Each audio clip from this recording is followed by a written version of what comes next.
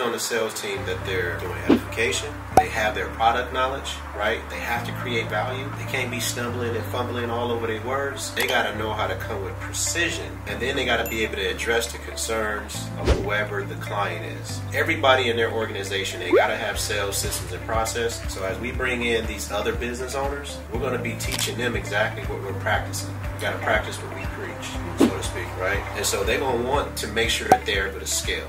They're going to want to make sure that their teams are familiar with their product and service. Right. And they're going to want to be able to make money at the same time. So we got to be able to lead by example and make sure that we come with that same value. So any business owner that comes into the academy, those are some of the gems that they're going to get with the academy.